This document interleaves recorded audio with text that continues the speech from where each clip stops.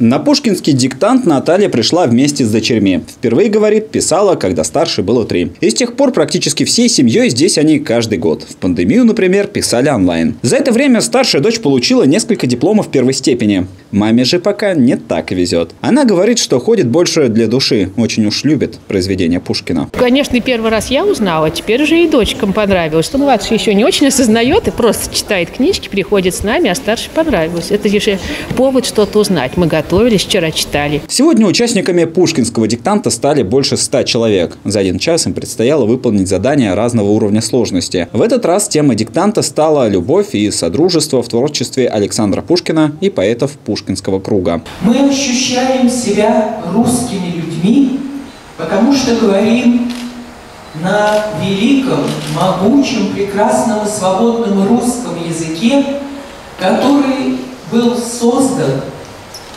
сформирован и выписыван великим Пушкиным. Именно он а, тогда, 224 года тому назад, от сегодняшней даты, а, родился и создал свои блистательные поэмы и стихи, письма и повести, романы в стихах и в прозе.